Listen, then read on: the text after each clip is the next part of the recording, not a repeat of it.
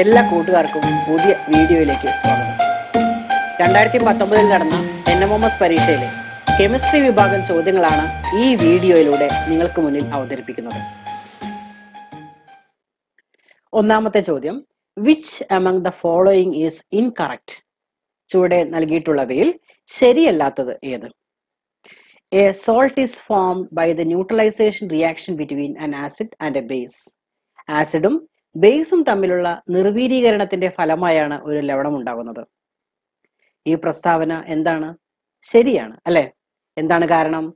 ആസിഡും ബേസും തമ്മിൽ റിയാക്ട് ചെയ്തുകൊണ്ടാണ്. അല്ലെങ്കിൽ നിർവീരീകരണ പ്രവർത്തനം ന്യൂട്രലൈസേഷൻ റിയാക്ഷൻ നടന്നിട്ടാണ് എന്തുണ്ടാവുന്നത്? ഒരു സോൾട്ട് അല്ലെങ്കിൽ ലവണം ഉണ്ടാവുന്നത്.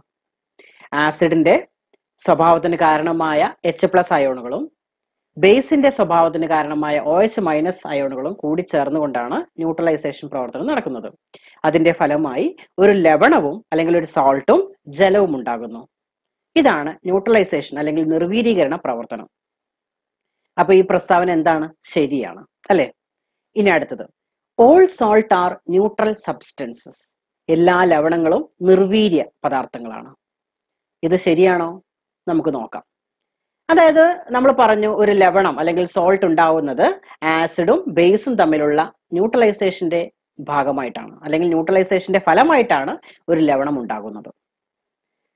അപ്പോൾ നമ്മൾ പറഞ്ഞു ഒരു ആസിഡിൽ പൊതുവായിട്ടുള്ള ആസിഡിന്റെ സ്വഭാവത്തിന് കാരണമായിട്ടുള്ള എച്ച് പ്ലസ് അയോണുകളും ബേസിന്റെ സ്വഭാവത്തിന് കാരണമായിട്ടുള്ള ഒ എച്ച് മൈനസ് അയോണുകളും തമ്മിലാണ് ഇവിടെ റിയാക്ട് ചെയ്യുന്നത്. അപ്പോൾ നിങ്ങളൊന്ന് ചിന്തിച്ചു നോക്കൂ. ഒരു ആസിഡ് വളരെ സ്ട്രോങ് ആയിട്ടുള്ള ആസിഡാണ് അതിൽ ധാരാളം എച്ച് പ്ലസ് അയോണുകളുണ്ട് എന്നാൽ ബേസ് വളരെ വീക്കാണ് അതിൽ ഒ എച്ച് മൈനസ് അയോണുകൾ കുറവാണ്.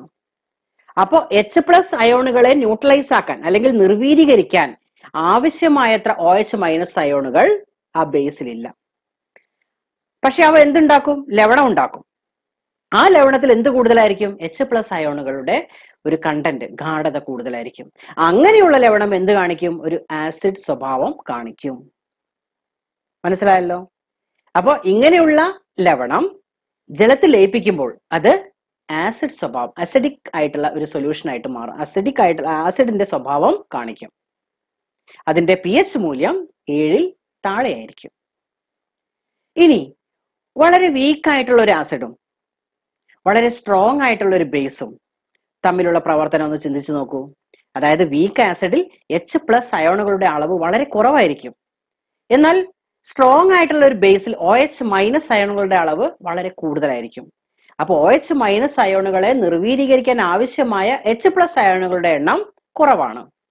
അതുകൊണ്ട് ഇവ ചേർന്നുണ്ടാകുന്ന അതായത് വീക്ക് ആയിട്ടുള്ള ഒരു ആസിഡും സ്ട്രോങ് ആയിട്ടുള്ള ബേസും തമ്മിൽ ചേർന്നുണ്ടാകുന്ന ലവണം ഒരു ബേസിക് സ്വഭാവം കാണിക്കും. ഇവ ജലത്തിൽ ലയിപ്പിക്കുമ്പോൾ അല്ലെ? വെള്ളത്തിൽ സോല്യൂബിൾ ആകുന്ന സമയത്ത് എന്തായിട്ട് മാറും? അതിന്റെ സൊല്യൂഷൻ എന്തായിട്ട് മാറും? ഒരു ബേസിക് സ്വഭാവം കാണിക്കും. അതായത് അതിന്റെ പി എച്ച് മൂല്യം ഏഴിൽ കൂടുതലായിരിക്കും. അപ്പൊ നമുക്ക് പറയാൻ പറ്റില്ല. എല്ലാ ലവണങ്ങളും നിർവീര്യമാണ് അല്ലെങ്കിൽ ന്യൂട്രൽ ആണെന്ന് പറയാൻ പറ്റില്ല. അവ ചിലപ്പോൾ ആസിഡ് ഗുണം കാണിക്കാം ചിലപ്പോൾ ബേസിക് ഗുണം കാണിക്കാം.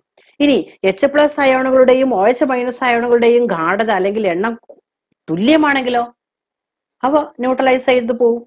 അല്ലെ? അങ്ങനെ ഉണ്ടാകുന്ന ലവണങ്ങൾ എന്തായിരിക്കും? നിർവീര്യ പദാർത്ഥങ്ങളായിരിക്കും. അപ്പൊ നമുക്ക് എല്ലാ ലവണങ്ങളും നിർവീര്യ പദാർത്ഥങ്ങളാണ്. അല്ലെങ്കിൽ all salt are neutral substance എന്ന് പറയാൻ പറ്റില്ല. ന്യൂട്രൽ സബ്സ്റ്റൻസ് ആവാം. പക്ഷേ അതിൽ എന്തൊക്കെ ഉണ്ടാവാം? ആസിഡ് ഉണ്ടാവാം ന്യൂട്രൽ ഉണ്ടാവാം ബേസിക് സ്വഭാവമുള്ളവ ഉണ്ടാകാം. ഓക്കെ അപ്പോ രണ്ടാമത്തെ പ്രസ്താവന എന്താണ്? തെറ്റാണ്. ഇനി അടുത്ത പ്രസ്താവന നമുക്ക് നോക്കാം. Salt may be acidic basic or neutral in nature ലവണങ്ങൾ acid ഗുണമോ ബേസിക് ഗുണമോ നിർവീര്യമോ ആകാം. അല്ലെ? നമ്മൾ നേരത്തെ പറഞ്ഞതാണ്. അപ്പൊ ഇതെന്താ? ഈ പ്രസ്താവന എന്താണ്? ആസിഡ് ഗുണം കാണിക്കാം ബേസിക് ഗുണം കാണിക്കാം അഥവാ നിർവീര്യമാകാം. അപ്പൊ അത് ശരിയാണ്. ഇനി നാലാമത്തെ നോക്കൂ. Sodium chloride is a salt formed by the neutralization of hydrochloric acid and sodium hydroxide. Hydrochloric ആസിഡും സോഡിയം ഹൈഡ്രോക്സൈഡും തമ്മിലുള്ള നിർവീരീകരണ പ്രവർത്തന ഫലമായാണ് സോഡിയം ക്ലോറൈഡ് ലവണം ഉണ്ടാകുന്നത്. അല്ലേ? അങ്ങനെ തന്നെയാണ് ഉണ്ടാകുന്നത്. സോഡിയം ക്ലോറൈഡ് എന്ന് പറഞ്ഞാൽ ഉപ്പാണ്. അല്ലേ? ഹൈഡ്രോക്ലോറിക് ആസിഡും അതുപോലെ സോഡിയം ഹൈഡ്രോക്സൈഡും ചേർന്നിട്ട് തന്നെയാണ് എന്തുണ്ടാവുന്നത്? സോഡിയം ക്ലോറൈഡ് ഉണ്ടാവുന്നത്. അപ്പൊ ഇവിടെ തെറ്റായ പ്രസ്താവന ഏതാണ്? രണ്ടാമത്തെ പ്രസ്താവന. അല്ലെ? എല്ലാ ലവണങ്ങളും നിർവീര്യ പദാർത്ഥങ്ങളാണ്. അല്ലെങ്കിൽ all salt are neutral substances അപ്പൊ അതാണ് അവിടെ തെറ്റായിട്ടുള്ള പ്രസ്താവന.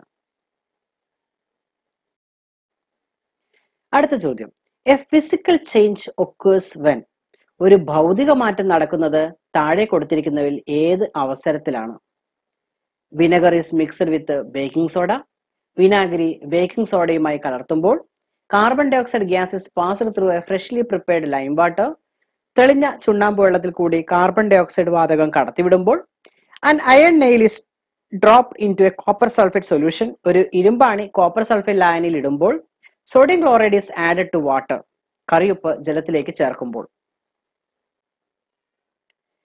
എന്താണ് ഭൗതിക മാറ്റം എന്ന് പറഞ്ഞാൽ? ഭൗതിക മാറ്റം എന്ന് പറഞ്ഞാൽ തന്മാത്രാ ക്രമീകരണത്തിലെ മാറ്റം മാത്രമാണ് നടക്കുന്നത്. അതായത് ഫിസിക്കൽ ചേഞ്ചിൽ മോളിക്കുലാർ അറേഞ്ച്മെന്റിലുള്ള മാറ്റം മാത്രമാണ് നടക്കുന്നത്. അതിനാൽ അതിനെ പഴയ അവസ്ഥയിലേക്ക് എളുപ്പം മാറ്റാൻ കഴിയും. എന്നാൽ രാസമാറ്റം അല്ലെങ്കിൽ കെമിക്കൽ ചേഞ്ചിൽ പുതിയ തന്മാത്രകൾ പുതിയ മോളിക്യൂളുകൾ രൂപപ്പെടുന്നു. അതുകൊണ്ട് തന്നെ അതിനെ പഴയ അവസ്ഥയിലേക്ക് മാറ്റാൻ സാധിക്കുകയില്ല. അപ്പൊ ഭൗതിക മാറ്റം എന്ന് പറയുന്നത് താൽക്കാലിക മാറ്റമാണ്. ഫിസിക്കൽ ചേഞ്ച് ഒരു ടെമ്പററി ചേഞ്ച് മാത്രമാണ്. എന്നാൽ കെമിക്കൽ ചേഞ്ച് എന്താണ്? ഒരു പെർമനന്റ് ചേഞ്ച് ആണ്. സ്ഥിരമായ മാറ്റമാണ്. ഇനി നമ്മളെ ചോദ്യത്തിലേക്ക് കടക്കാം. എന്താണ്? Vinegar is mixed with baking soda വിനാഗിരി ബേക്കിംഗ് സോഡയുമായി കലർത്തുമ്പോൾ. വിനാഗിരി എന്ന് പറഞ്ഞാൽ നമുക്കറിയാം അസറ്റിക് ആസിഡ് ആണ്. ബേക്കിംഗ് സോഡ എന്താണ്? സോഡിയം ബൈകാർബണേറ്റ് ആണ്. ഇത് രണ്ടും തമ്മിൽ പ്രവർത്തിച്ച് സോഡിയം അസറ്റേറ്റും കാർബൺ ഡൈ ഓക്സൈഡും ഉണ്ടാകും. അതുകൊണ്ട് ഇതൊരു കെമിക്കൽ ചേഞ്ച് അല്ലെങ്കിൽ രാസമാറ്റമാണ്. അടുത്ത് നോക്കൂ. Carbon dioxide gas is passed through freshly prepared lime water തെളിഞ്ഞ ചുണ്ണാമ്പ് വെള്ളത്തിൽ കൂടി കാർബൺ ഡൈ ഓക്സൈഡ് വാതകം കടത്തിവിടുമ്പോൾ തെളിഞ്ഞ ചുണ്ണാമ്പ് വെള്ളം അല്ലെങ്കിൽ ലൈം വാട്ടർ എന്ന് പറയുന്നത് എന്താണ്? കാൽസ്യം ഹൈഡ്രോക്സൈഡ് ആണ്.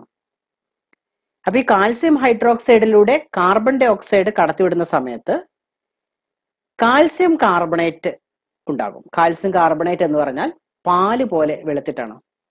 അപ്പൊ തെളിഞ്ഞ ചുണ്ണാമ്പ് വെള്ളത്തെ പാൽ നിറമാക്കാൻ കഴിവുള്ളവയാണ് കാർബൺ ഡൈ ഓക്സൈഡ് അതായത് കാൽസ്യം കാർബണേറ്റ് അവിടെ ഉണ്ടാകും. അതുകൊണ്ട് ഈ പ്രവർത്തനവും എന്താണ്? ഒരു രാസമാറ്റമാണ് അല്ലെങ്കിൽ കെമിക്കൽ ചേഞ്ച് ആണ്. അടുത്ത് നോക്കൂ. And iron nail is dropped into copper sulphate solution ഒരു ഇരുമ്പാണി കോപ്പർ സൾഫേറ്റ് ലായനിയിൽ ഇടുമ്പോൾ. നമുക്കറിയാം ഇരുമ്പിന് അയേണിന് കോപ്പറിനേക്കാൾ ക്രിയാശീലത അല്ലെങ്കിൽ റിയാക്ടിവിറ്റി കൂടുതലാണ്.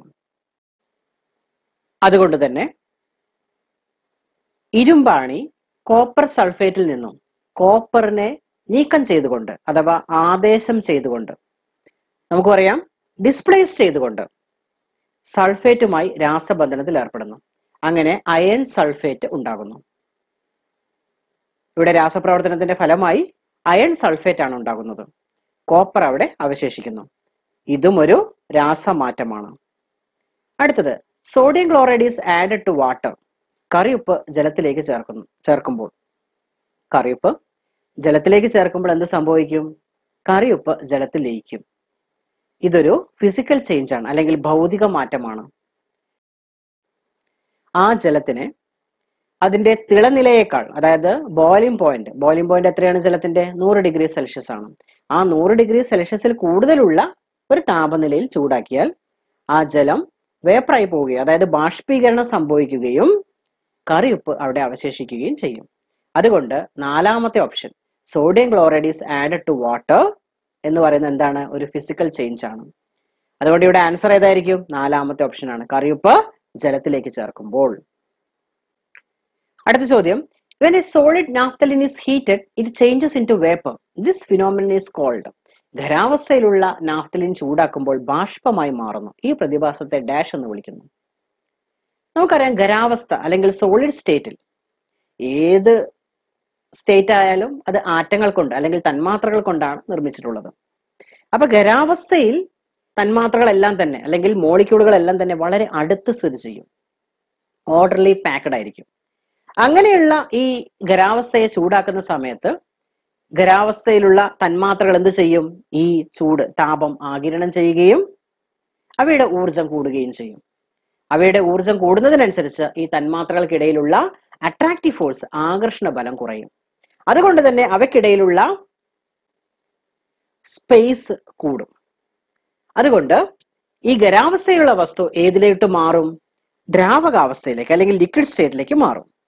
വീണ്ടും ചൂടാക്കുമ്പോഴാണ് ഈ തന്മാത്രകൾ എന്ത് ചെയ്യുന്നു? വീണ്ടും താപം ആകിരണം ചെയ്യുകയും അല്ലെങ്കിൽ ഹീറ്റ് അബ്സോർബ് ചെയ്യുകയും തന്മാത്രകളുടെ ഗതികോർജം അല്ലെങ്കിൽ കൈനറ്റിക് എനർജി കൂടുകയും ചെയ്യും. അപ്പോൾ വീണ്ടും അവക്കിടയിലുള്ള തന്മാത്രകൾക്കിടയിലുള്ള ആകർഷണ ബലം അട്രാക്റ്റീവ് ഫോഴ്സ് കുറയുകയും അവക്കിടയിലുള്ള സ്പേസ് വളരെ കൂടുകയും ചെയ്യും. അങ്ങനെയാണ് ലിക്വിഡ് സ്റ്റേറ്റിലുള്ള ഒരു വസ്തു ഏതിലേക്ക് മാറുന്നത്? ഗ്യാഷ് സ്റ്റേറ്റിലേക്ക് അല്ലെങ്കിൽ വാതകാവസ്ഥയിലേക്ക് മാറുന്നത്. പക്ഷെ ഇവിടെ അങ്ങനെയല്ല. ഖരാവസ്ഥയിലുള്ള ഈ നാഫ്തലിൻ അതായത് പാറ്റ ഗുളിക ചൂടാക്കുന്ന സമയത്ത് നേരിട്ട് ഏത് അവസ്ഥയിലേക്ക് മാറും? ഗ്യാഷ് സ്റ്റേറ്റിലേക്ക് മാറും. അതായത് ഖരാവസ്ഥയിലുള്ള ഒരു വസ്തു ഗ്യാഷ് സ്റ്റേറ്റിലേക്ക് മാറണം വാതകാവസ്ഥയിലേക്ക് മാറണം ഈ പ്രതിഭാസത്തെ നമ്മൾ എന്താ വിളിക്കുക? സബ്ലിമേഷൻ അല്ലെങ്കിൽ ഉൽപതനം എന്നാണ് വിളിക്കുക. അപ്പൊ രണ്ടാമത്തെ ഓപ്ഷനാണ് ഇവിടെ ശരിയായിട്ടുള്ളത്. ഇനി ഒന്നാമത്തെ ഓപ്ഷൻ എന്തായിരുന്നു? വേപ്രൈസേഷൻ എന്നാണ്. എന്താണ് വേപ്രൈസേഷൻ അല്ലെങ്കിൽ ബാഷ്പീകരണം എന്ന് പറഞ്ഞാൽ? ഒരു ദ്രാവകം അതിന്റെ തിളനിലയിൽ തിളനില എന്ന് പറഞ്ഞാൽ എന്താ? ബോയിലിംഗ് പോയിന്റിൽ വെച്ച് എന്തായി മാറും? ഗ്യാഷ് സ്റ്റേറ്റിലേക്ക് അതായത് വാതകാവസ്ഥയിലേക്ക് മാറുന്ന പ്രതിഭാസമാണ് ബാഷ്പീകരണം. നമ്മൾ വെള്ളം തിളപ്പിക്കാറുണ്ട് അല്ലെ? സ്റ്റൗവിൽ വെച്ചിട്ട് അടുപ്പിൽ വെച്ചിട്ടൊക്കെ നമ്മൾ എന്ത് ചെയ്യാറുണ്ട്? വെള്ളം തിളപ്പിക്കാറുണ്ട്. അങ്ങനെ വെള്ളം തിളപ്പിച്ചുകൊണ്ടേ ഇരുന്നാൽ എന്ത് സംഭവിക്കും? ആ വെള്ളം മൊത്തം എന്തായിട്ട് മാറും? നീരാവിയായിട്ട് മാറും. വേപ്പർ സ്റ്റേറ്റിലേക്ക് മാറും. അതിനെയാണ് നമ്മൾ എന്ത് വിളിക്കുക? ബാഷ്പീകരണം എന്ന് വിളിക്കുക. അപ്പൊ നൂറ് ഡിഗ്രി സെൽഷ്യസിന് മുകളിലുള്ള താപനിലയിൽ ചൂടാക്കിയാൽ ആ വെള്ളം എന്തായിട്ട് മാറും? ബാഷ്പീകരണം സംഭവിച്ച വേപ്പറായിട്ട് മാറും. ഇനി അടുത്തത് എന്താണ്? കണ്ടൻസേഷൻ എന്താണ് കണ്ടൻസേഷൻ അല്ലെങ്കിൽ സാന്ദ്രീകരണം എന്ന് പറഞ്ഞാൽ? നിങ്ങൾ ഒരു ഗ്ലാസ്സിൽ ഒരു സ്റ്റീലിന്റെ ഗ്ലാസ്സിൽ കുറച്ച് ഐസ് കട്ടകൾ ഇടുക. എന്ത് സംഭവിക്കും? ആ ഗ്ലാസിന്റെ പുറത്ത് ആ ഗ്ലാസിന്റെ പുറത്ത് എന്തുണ്ടാകും? ദ്രാവക തുള്ളികൾ ഉണ്ടാകും. അല്ലെ? ഈ ഗ്ലാസ്സിലിട്ട ഐസ് എന്ത് ചെയ്തു? അന്തരീക്ഷത്തിൽ നിന്നും താപം ആഗിരണം ചെയ്തു ഹീറ്റ് അബ്സോർബ് ചെയ്തു. എന്തിനു വേണ്ടിയിട്ട്? ഈ ഐസ് ഉരുകാൻ വേണ്ടിയിട്ട്. അപ്പൊ അന്തരീക്ഷത്തിലെ താപനില കുറഞ്ഞു. അന്തരീക്ഷത്തിലെ താപനില കുറയുമ്പോഴോ? അന്തരീക്ഷത്തിൽ എന്തുണ്ട്? ജലകണികകളുണ്ട്. അവ വേപ്പർ സ്റ്റേറ്റിലാണ് അതായത് ഗ്യാഷ് സ്റ്റേറ്റിലാണ് അങ്ങനെ ഈ വാട്ടർ വേപ്പേഴ്സ് എന്ത് ചെയ്യും? തണുക്കാൻ തുടങ്ങും. അല്ലെ? തണുക്കുമ്പോൾ എന്തായിട്ട് മാറും? ഇവ ഗ്യാഷ് സ്റ്റേറ്റിൽ നിന്നും ദ്രാവകാവസ്ഥയിലേക്ക് അല്ലെങ്കിൽ ലിക്വിഡ് സ്റ്റേറ്റിലേക്ക് മാറും. അതുകൊണ്ടാണ് ആ സ്റ്റീൽ ഗ്ലാസിന്റെ ചുറ്റുഭാഗത്ത് എന്തുണ്ടായിരിക്കും? ദ്രാവക കണികകൾ അല്ലെ? ജലകണികകൾ അവിടെ ഉണ്ടായിരിക്കും. അപ്പൊ എന്താണ് കണ്ടൻസേഷൻ അല്ലെങ്കിൽ സാന്ദ്രീകരണം എന്ന് മനസ്സിലായല്ലോ? അടുത്തത് ലിക്വിഫാക്ഷൻ അഥവാ ദ്രവീകരണം. വാതകാവസ്ഥയിലുള്ള ഒരു പദാർത്ഥത്തെ മർദ്ദം കൊടുത്തുകൊണ്ടോ അല്ലെങ്കിൽ തണുപ്പിച്ചുകൊണ്ടോ ദ്രാവകാവസ്ഥയിലേക്ക് മാറ്റുന്നതിനെയാണ് ലിക്വിഫാക്ഷൻ അല്ലെങ്കിൽ ദ്രവീകരണം എന്ന് വിളിക്കുന്നത്. അടുത്ത ചോദ്യം. Which among the following is not a balanced chemical equation താഴെ നൽകിയിട്ടുള്ളവയിൽ സമീകൃത രാസസമവാക്യം ഏത്? എന്താണ് സമീകൃത രാസസമവാക്യം അല്ലെങ്കിൽ ബാലൻസ്ഡ് കെമിക്കൽ ഇക്വേഷൻ എന്ന് പറയുന്നത്? അതായത് ഒരു കെമിക്കൽ ഇക്വേഷനിൽ രാസപ്രവർത്തനത്തിൽ പങ്കെടുക്കുന്ന പദാർത്ഥങ്ങളെ അഭികാരങ്ങൾ അല്ലെങ്കിൽ റിയാക്ടൻസ് എന്ന് വിളിക്കുന്നു. രാസപ്രവർത്തനത്തിന്റെ ഫലമായി ഉണ്ടാകുന്ന പദാർത്ഥങ്ങളെ പ്രോഡക്ട്സ് അല്ലെങ്കിൽ ഉൽപ്പന്നങ്ങൾ എന്ന് വിളിക്കുന്നു. അഭികാരങ്ങളിലെയും ഉൽപ്പന്നങ്ങളിലെയും ആറ്റങ്ങളുടെ എണ്ണം തുല്യമാവുകയാണെങ്കിൽ നമ്മൾ പറയും ആ ഇക്വേഷൻ ആ കെമിക്കൽ ഇക്വേഷൻ ബാലൻസ്ഡ് ആണ് അല്ലെങ്കിൽ സമീകൃതമാണ് ആ രാസസമവാക്യം എന്ന് പറയും നമുക്കിവിടെ സമീകൃത രാസസമവാക്യം അല്ലെങ്കിൽ ബാലൻസ്ഡ് കെമിക്കൽ ഇക്വേഷൻ അല്ലാത്തത് ഏത് എന്നാണ് കണ്ടെത്തേണ്ടത്. അപ്പൊ നമുക്ക് ഒന്നാമത്തേത് തൊട്ട് നോക്കാം അല്ലെ? C H four plus two O two give C O two plus two H two അപ്പൊ സി എച്ച് ഫോറും ഒ ടുവും ടു ഒ ടുവും എന്താണ്? അഭികാരങ്ങളാണ് അല്ലെ? റിയാക്ടൻസ് ആണ്. എന്നാൽ സി ഒ ടുവും ടു എച്ച് ടുവും എന്താണ്? പ്രോഡക്ട്സ് ആണ് അല്ലെങ്കിൽ ഉൽപ്പന്നങ്ങളാണ്. അപ്പൊ അഭികാരങ്ങൾ എത്ര കാർബൺ ഉണ്ട്? ഒരു കാർബൺ ആണുള്ളത് ഉൽപ്പന്നങ്ങളിലും ഒരു കാർബൺ ആണുള്ളത് ഒരു കാർബൺ ആറ്റം അല്ലെ? ഇനി അഭികാരങ്ങൾ എത്ര ഹൈഡ്രജൻ ആറ്റങ്ങൾ ഉണ്ട് നാല് ഹൈഡ്രജൻ ആറ്റങ്ങൾ ഉണ്ട് ഉൽപ്പന്നങ്ങളിലും നാല് തന്നെയാണ്. കാരണം ടു എച്ച് ടു എന്നാണ്. അപ്പൊ ടു ഇന്റു ടു എത്രയാ? നാലാണ്. ഇനി അടുത്ത് നോക്കൂ. അഭികാരങ്ങളിൽ നാല് ഓക്സിജൻ ആറ്റം അതായത് ടു ഇന്റു ഒ ടു അല്ലെ? ഒ ടുവിന്റെ രണ്ട് ഒ ടു എന്ന് പറയുന്ന രണ്ട് തന്മാത്രകളുണ്ട് അല്ലെ? അപ്പൊ ടു ഒ ടു അപ്പൊ നാല് ഓക്സിജൻ ആറ്റങ്ങൾ ഇനി അവിടെ എത്ര ഓക്സിജൻ ആറ്റങ്ങൾ ഉണ്ടെന്ന് നോക്കൂ. സി ഒ ടുവിൽ രണ്ടെണ്ണം. രണ്ട് ഓക്സിജൻ ആറ്റം പിന്നെയോ എച്ച് ഓൽ രണ്ട് ഓക്സിജൻ ആറ്റം അപ്പൊ നാല് ഓക്സിജൻ ആറ്റങ്ങളായി ഉൽപ്പന്നങ്ങളിലും. അപ്പൊ ഒന്നാമത്തത് എന്താണ്? സമീകൃതമാണ്. ഇനി രണ്ടാമത്തെ നോക്കൂ. Three N two plus two S two gives two N S three അതായത് എത്ര നൈട്രജൻ ഉണ്ട് അഭികാരങ്ങളിൽ? ആറ് നൈട്രജൻ അല്ലെ? ത്രീ ഇന്റു ടു ആറ് നൈട്രജൻ ഇനി ഉൽപ്പന്നങ്ങൾ എത്ര ഉണ്ട് നോക്കൂ? രണ്ട് നൈട്രജൻ മാത്രമേ അവിടെയുള്ളൂ. ഇനി എത്ര ഹൈഡ്രജൻ ഉണ്ട് നോക്കൂ? അഭികാരങ്ങളിൽ നാല് ഹൈഡ്രജൻ ഉൽപ്പന്നങ്ങളിലോ? ആറ് ഹൈഡ്രജൻ. അപ്പൊ അത് രണ്ടാമത്തെ സമവാക്യം എന്തല്ല? സമീകൃതമല്ല അല്ലെങ്കിൽ ബാലൻസ്ഡ് അല്ല.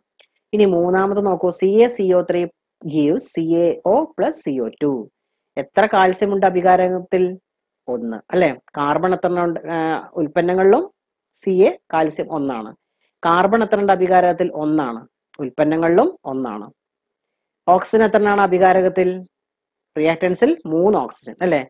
ഇനി പ്രോഡക്ട്സിലോ സി എ ഒയിൽ സി എ ഒ അതിൽ ഒരു ഓക്സിജനും സി ഒ ടുവിൽ രണ്ട് ഓക്സിജൻ അങ്ങനെ മൊത്തം മൂന്നെണ്ണം. അതും സമീകൃതമാണ്. ഇനി അടുത്ത് നോക്കൂ two H two O two gives two H two O plus O two ഇവിടെ അഭികാരങ്ങൾ എത്ര ഹൈഡ്രജൻ ഉണ്ട്? നാല് ഹൈഡ്രജൻ ഉണ്ട്.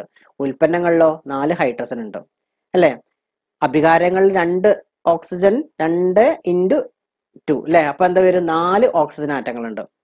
അപ്പോൾ ഉൽപ്പന്നങ്ങളിലോ ഹൈഡ്ര വാട്ടറിൽ രണ്ട് ഓക്സിജനും ഓക്സിജനിലെ രണ്ട് ഓക്സിജനും. അങ്ങനെ മൊത്തം നാലെണ്ണം ഉണ്ട് അവിടെ. അല്ലേ? അപ്പൊ അതും എന്താണ്? സമീകൃതമാണ്. അപ്പൊ ഇവിടെ സമീകൃതമല്ലാത്തത് അല്ലെങ്കിൽ ബാലൻസ്ഡ് അല്ലാത്തത് ഏതാണ്? രണ്ടാമത്തെ ഓപ്ഷൻ ആണ്. Three N two plus two S two gives two N S three അടുത്ത ചോദ്യം. Certain medicines and chemicals are stored in brown brown bottles to protect them from undergoing. ചില മരുന്നുകളും രാസവസ്തുക്കളും തവിട്ട് നിറത്തിലുള്ള കുപ്പികളിൽ സൂക്ഷിക്കുന്നത് ഏത് രാസപ്രവർത്തനം തടയുന്നതിനാണ്? ഏതായിരിക്കും? പ്രകാശ രാസപ്രവർത്തനം അതായത് ഫോട്ടോ കെമിക്കൽ റിയാക്ഷൻ. അപ്പൊ ഇവിടെ ആൻസർ ഏതാണ്? ഫോട്ടോ കെമിക്കൽ റിയാക്ഷൻ അല്ലെങ്കിൽ പ്രകാശ രാസപ്രവർത്തനം അതായത് ഒരു രാസപ്രവർത്തനം നടക്കണമെന്നുണ്ടെങ്കിൽ അഭികാരക തന്മാത്രകൾക്ക് എന്ത് വേണം? ഒരു മിനിമം ഊർജം വേണം. ആ മിനിമം ഊർജത്തെയാണ് ത്രഷോൾഡ് എനർജി എന്ന് വിളിക്കുന്നത്. അല്ലെ?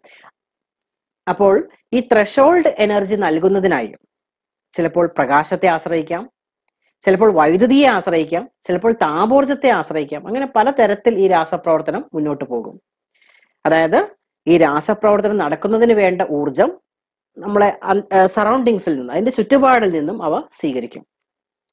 അപ്പൊ ചില മരുന്നുകൾ അതുപോലെ രാസവസ്തുക്കളൊക്കെ തന്നെ പ്രകാശത്തിന്റെ സാന്നിധ്യത്തിൽ അവിടെ പ്രകാശം കിട്ടിക്കഴിഞ്ഞാൽ അവയ്ക്ക് ഊർജം കിട്ടുകയും ഒരു മിനിമം ഊർജം കിട്ടുകയും അവ രാസപ്രവർത്തനം നടക്കുകയും ചെയ്യും. അപ്പോൾ അത് തടയുന്നതിനാണ് ബ്രൗൺ നിറത്തിലുള്ള കുപ്പിയിൽ ഈ രാസവസ്തു സൂക്ഷിക്കുന്നത്. അങ്ങനെ ബ്രൗൺ നിറത്തിലുള്ള കുപ്പിയാണെങ്കിലോ? അതിലോട്ട് പ്രകാശം അതിന്റെ തീവ്രത വളരെ കുറഞ്ഞിട്ടാണ് ആ രാസവസ്തുവിൽ തട്ടുന്നത്. അതുകൊണ്ട് അവിടെ ആ ത്രഷോൾഡ് എനർജി ലഭിക്കാതെയാകും. ആ രാസവസ്തുക്കൾക്ക് ത്രഷോൾഡ് എനർജി രാസപ്രവർത്തനത്തിനുള്ള ത്രഷോൾഡ് എനർജി ലഭിക്കാതെയാകും. അതുകൊണ്ട് അവിടെ രാസപ്രവർത്തനം നടക്കുന്നില്ല. അപ്പൊ ഇവിടെ ഏതാണ് ആൻസർ പ്രകാശ രാസപ്രവർത്തനം അല്ലെങ്കിൽ ഫോട്ടോ കെമിക്കൽ റിയാക്ഷൻ ആണ്. ഇങ്ങനെ പ്രകാശോർജം ആകിരണം ചെയ്യുകയോ പുറത്തുവിടുകയോ ചെയ്യുന്ന രാസപ്രവർത്തനങ്ങളെ പ്രകാശ രാസപ്രവർത്തനങ്ങൾ അല്ലെങ്കിൽ ഫോട്ടോ കെമിക്കൽ റിയാക്ഷൻ എന്ന് വിളിക്കാം. ഇനി വൈദ്യുതോർജം ആകിരണം ചെയ്യുകയോ പുറത്തുവിടുകയോ ചെയ്യുന്ന രാസപ്രവർത്തനങ്ങളെ പൊതുവായി വൈദ്യുത രാസപ്രവർത്തനങ്ങൾ എന്ന് വിളിക്കാം. അല്ലെങ്കിൽ ഇലക്ട്രോ കെമിക്കൽ റിയാക്ഷൻ എന്ന് വിളിക്കാം. രാസപ്രവർത്തനം വഴി വൈദ്യുതി ഉണ്ടാക്കുന്ന സംവിധാനങ്ങളാണ് വൈദ്യുത രാസ സെല്ലുകൾ അല്ലെങ്കിൽ ഇലക്ട്രോ കെമിക്കൽ സെല്ലുകൾ. ഇനി താപോർജം പുറത്തുവിടുകയോ അല്ലെങ്കിൽ ആകിരണം ചെയ്യുകയോ ചെയ്യുന്ന രാസപ്രവർത്തനങ്ങളെ താപരാസപ്രവർത്തനങ്ങൾ അല്ലെങ്കിൽ തെർമോ കെമിക്കൽ റിയാക്ഷൻ എന്ന് വിളിക്കാം. ഇനി താപം പുറത്തുവിടുന്ന രാസപ്രവർത്തനങ്ങളെ താപമോചക പ്രവർത്തനങ്ങൾ അഥവാ എക്സോതെർമിക് റിയാക്ഷൻ എന്നും താപം ആകിരണം ചെയ്യുന്ന രാസപ്രവർത്തനങ്ങളെ താപ ആകിരണ പ്രവർത്തനങ്ങൾ അല്ലെങ്കിൽ എൻഡോതെർമിക് റിയാക്ഷൻ എന്നും വിളിക്കാം. അടുത്ത ചോദ്യം. Which among the following is a poor conductor of heat energy ചുവടെ ചേർത്തിട്ടുള്ളവയിൽ ഏതാണ് താപോർജത്തിന്റെ കുചാലകം? അതായത് നമുക്കറിയാം ലോഹങ്ങളെല്ലാം തന്നെ മെറ്റൽസ് എല്ലാം തന്നെ താപോർജത്തിന്റെ നല്ല ചാലകങ്ങളാണ്. അതായത് മെറ്റൽസ് എന്ന് പറയുന്നത് ഹീറ്റ് എനർജിയുടെ കണ്ടക്ടേഴ്സ് ആണ്. വളരെ നന്നായിട്ട് അവ താപം കടത്തിവിടും. അതുകൊണ്ട് അലുമിനിയം കോപ്പർ അയൺ തുടങ്ങിയവ ഇരുമ്പ് തുടങ്ങിയവ എന്ത് ചെയ്യും? വളരെ നന്നായിട്ട് താപത്തെ കടത്തിവിടും. എന്നാൽ ഇവിടെ ഒരു അലോഹമുണ്ട് നോൺ മെറ്റൽ ഉണ്ട് സൾഫർ അവ താപോർജത്തെ അത്ര നന്നായിട്ട് കടത്തിവിടുകയില്ല. അതുകൊണ്ട് സൾഫർ ആണ് ഇവിടെ എന്ത്? കുജാലകം അല്ലെങ്കിൽ poor conductor of heat energy എന്ന് പറയുന്നത്. അപ്പൊ ഇവിടെ ആൻസർ ഏതാണ്? സൾഫർ ആണ്. അടുത്ത ചോദ്യം. Bronze is an alloy of ഓട് എന്ന ലോഹ സങ്കരത്തിന്റെ ഘടകങ്ങൾ ഡാഷ് എന്നിവയാണ്. ഏതാണ് ബ്രോൺസിന്റെ ഘടകങ്ങൾ ഏതൊക്കെയാണ്? കോപ്പർ ടിന്ന് തുടങ്ങിയവയാണ് ബ്രോൺസിന്റെ ഘടകങ്ങൾ. Bronze is an alloy of copper and tin അപ്പൊ ഇവിടെ ആൻസർ ഏതാണ്? മൂന്നാമത്തെ ഓപ്ഷൻ ആണ് ആൻസർ. ഇനി കോപ്പറും സിങ്കും ചേർന്ന അലോയിയെ ബ്രാസ് അല്ലെങ്കിൽ പിച്ചള എന്ന് വിളിക്കുന്നു. പാത്ര നിർമ്മാണത്തിനാണ് പിച്ചള ഉപയോഗിക്കുന്നത്. അതുപോലെ കോപ്പറും സിൽവറും ചേർന്നിട്ടുള്ള അലോയിയെ സ്റ്റേർലിംഗ് എന്ന് വിളിക്കും. തൊണ്ണൂറ്റി പോയിന്റ് അഞ്ച് ശതമാനം സിൽവറും.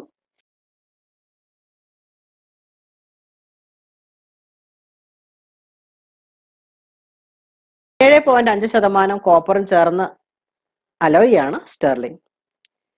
നാണയ നിർമ്മാണത്തിനും കോപ്പറും സിൽവറും ചേർന്ന അലോയ് ഉപയോഗിക്കാറുണ്ട്. അതുപോലെ കോപ്പർ ആൻഡ് ഗോൾഡ് ചേർന്നിട്ടുള്ള അലോയ് സ്വർണാഭരണത്തിന് കൂടുതൽ ഉറപ്പും ദൃഢതയും ഒക്കെ വരുത്തുന്നതിന് ഗോൾഡിന്റെ കൂടെ കോപ്പർ കൂടി ചേർക്കാറുണ്ട്. അങ്ങനെ കോപ്പർ ഗോൾഡ് അലോയ് ആണ് നമ്മൾ സ്വർണാഭരണ നിർമ്മാണത്തിന് ഉപയോഗിക്കുന്നത്. അടുത്ത ചോദ്യം. It is dangerous to burn a coal in a close room because of the production of അടച്ചിട്ട മുറിയിൽ കൽക്കരി കത്തിക്കുന്നത് അപകടകരമാണെന്ന് പറയാൻ കാരണം ഡാഷ് ഉണ്ടാകുന്നതാണ്. നമുക്കറിയാം അടച്ചിട്ട മുറിയിൽ ഓക്സിജന്റെ അളവ് വളരെ കുറവായിരിക്കും. ഒരു ഇന്ധനം അല്ലെങ്കിൽ ഏത് സാധനം കത്തുകയാണെങ്കിലും എന്ത് വേണം? ഓക്സിജന്റെ സാന്നിധ്യത്തിലാണ് ഇവ കത്തുന്നത്. ഓക്സിജനാണ് കത്താൻ സഹായിക്കുന്ന വാതകം. അപ്പോൾ ഓക്സിജൻ ഉണ്ടെങ്കിലാണ് വളരെ നന്നായിട്ട് കത്തുകയുള്ളൂ. അങ്ങനെ ഓക്സിജന്റെ സാന്നിധ്യത്തിൽ കത്തുന്നതിനെയാണ് നമ്മൾ പൂർണ ജ്വലനം കംപ്ലീറ്റ് കമ്പഷൻ എന്ന് വിളിക്കുന്നത്. അങ്ങനെ കംപ്ലീറ്റ് കമ്പഷന്റെ ഭാഗമായിട്ടുണ്ടാകുന്ന വാതകമാണ് കാർബൺ ഡൈ ഓക്സൈഡ് എന്നാൽ അടച്ചിട്ട് മുറിയിൽ അത്ര തന്നെ ഓക്സിജൻ ഉണ്ടായിക്കൊള്ളണമെന്നില്ല. അല്ലേ? അപ്പോ ഓക്സിജന്റെ സഹായത്തിലല്ലാതെ ഓക്സിജന്റെ സാന്നിധ്യത്തിലല്ലാതെ കത്തുന്ന ഒരു പ്രക്രിയയുണ്ട്. അപൂർണ ജ്വലനം ഇൻകംപ്ലീറ്റ് കമ്പഷൻ എന്ന് വിളിക്കും. അതിന്റെ ഫലമായി കാർബൺ മോണോക്സൈഡ് ആണ് ഉണ്ടാകുന്നത്. അങ്ങനെ ഈ കാർബൺ മോണോക്സൈഡ് ഒരാൾ ശ്വസിക്കുകയാണെങ്കിൽ ഇൻഹേൽ ചെയ്യുകയാണെങ്കിൽ ഈ കാർബൺ മോണോക്സൈഡ് രക്തത്തിലെ ഹീമോഗ്ലോബിനുമായി കൂടി ചേർന്ന് കാർബോക്സി ഹീമോഗ്ലോബിൻ ഉണ്ടാകും. നമുക്കറിയാം സാധാരണ ഹീമോഗ്ലോബിനിൽ എന്താണ് ഉണ്ടാവുക? ഓക്സിജൻ ആണ് ഉണ്ടാവുക. നമ്മുടെ ശരീരത്തിലേക്ക് ഇൻഹേൽ ചെയ്യുന്ന ഓക്സിജൻ ആണ് ഹീമോഗ്ലോബിനുമായി കൂടി ചേർന്ന് കോശങ്ങളിലേക്ക് ഓക്സിജൻ എത്തിക്കുന്നത്. ഇത് കോശ ശ്വസനത്തിന് സെൽ റെസ്പിറേഷന് സഹായിക്കുന്ന ഒരു സംവിധാനമാണ്. എന്നാൽ കാർബൺ മോണോക്സൈഡിന് ഓക്സിജനേക്കാൾ അഫിനിറ്റി ഉണ്ട്. ആരോട്? ഹീമോഗ്ലോബിനോട്. അതുകൊണ്ട് കാർബൺ മോണോക്സൈഡ് ഹീമോഗ്ലോബിനുമായി കൂടി ചേർന്ന് കാർബോക്സി ഹീമോഗ്ലോബിൻ ഉണ്ടാകും. അപ്പോൾ അതിൽ ഓക്സിജന്റെ അളവില്ല. അങ്ങനെ ഈ കാർബോക്സി ഹീമോഗ്ലോബിനാണ് എവിടെ എത്തുന്നത്? കോശങ്ങളിൽ എത്തുന്നത്.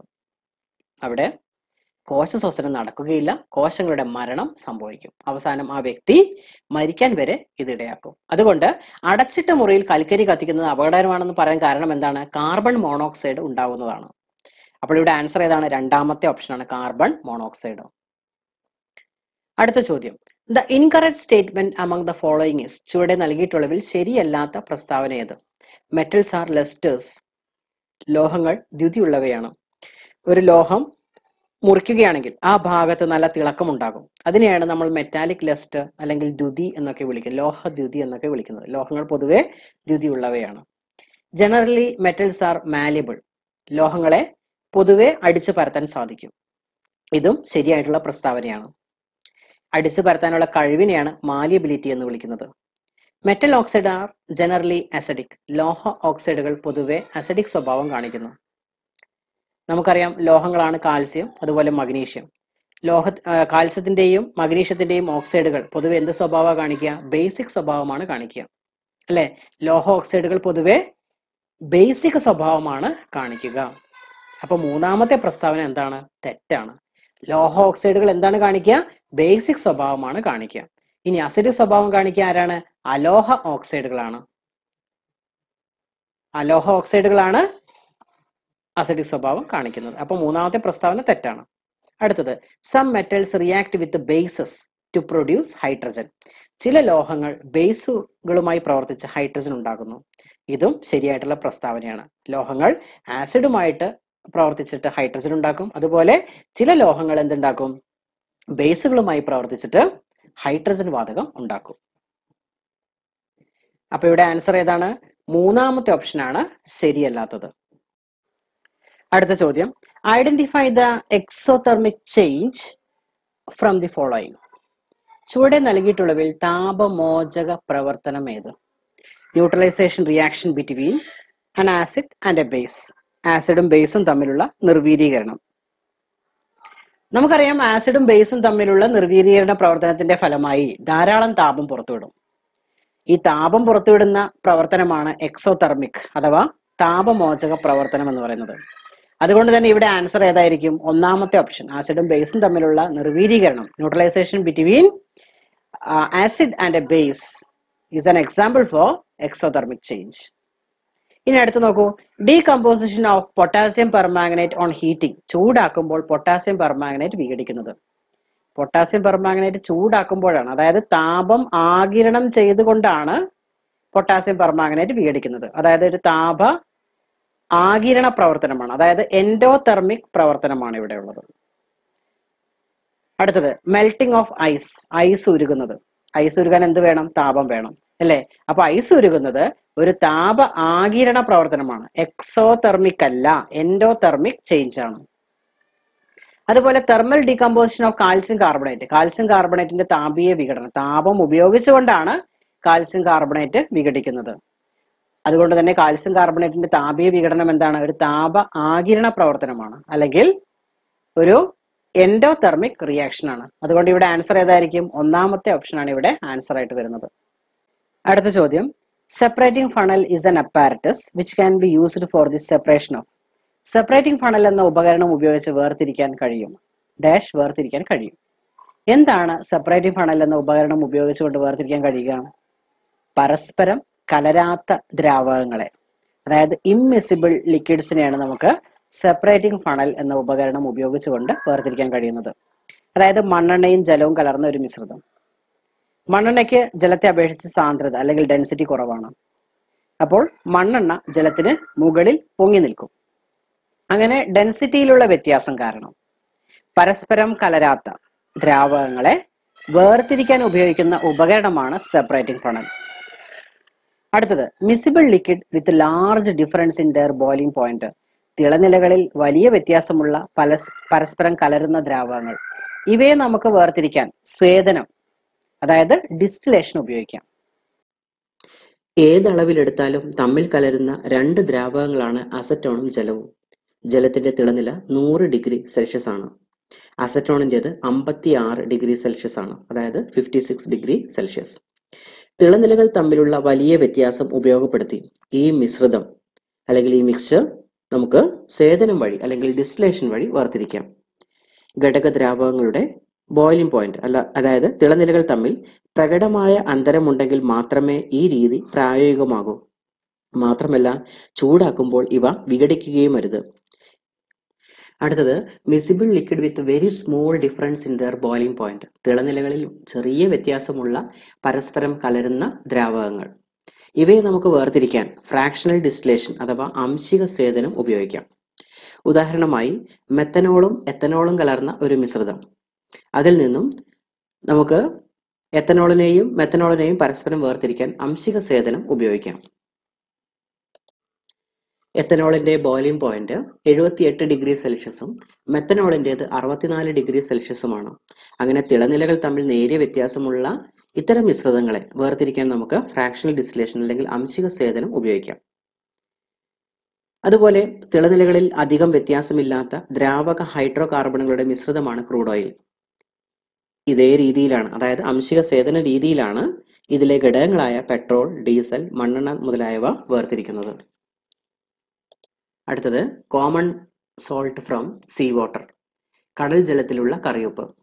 കടൽ ജലത്തിൽ നിന്നും കറിയുപ്പ് വേർതിരിക്കുന്നതിന് കടൽ ജലം കടൽ തീരങ്ങളിൽ വലിയ പാടങ്ങൾ കെട്ടി അല്ലെങ്കിൽ തടങ്ങൾ കെട്ടി അവിടെ ശേഖരിക്കുന്നു. അങ്ങനെ സ്റ്റോർ ചെയ്യുന്ന കടൽ ജലം സൂര്യപ്രകാശത്തിന്റെ സാന്നിധ്യത്തിൽ ബാഷ്പീകരണത്തിന് വിധേയമാകുന്നു. അങ്ങനെ കടൽ ജലം നഷ്ടപ്പെടുകയും കടൽ ജലത്തിലുള്ള ഉപ്പ് ആ തടത്തിൽ അവശേഷിക്കുകയും ചെയ്യുന്നു. അടുത്ത ചോദ്യം. Which among the following symbols is not derived from the Latin name of the element ചുവടെ ചേർത്തിട്ടുള്ള മൂലകങ്ങളിൽ ലാറ്റിൻ നാമത്തിൽ നിന്ന് പ്രതീകം സ്വീകരിച്ചിട്ടില്ലാത്തത് ഏത്?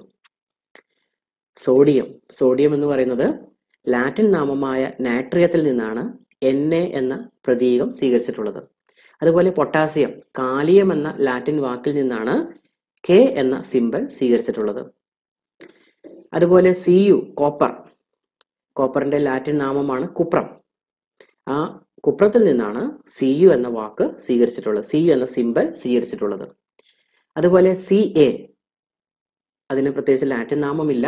അത് കാൽസ്യം എന്ന വാക്കിൽ നിന്നാണ് സി എ എന്ന സിമ്പൽ സ്വീകരിച്ചിട്ടുള്ളത്.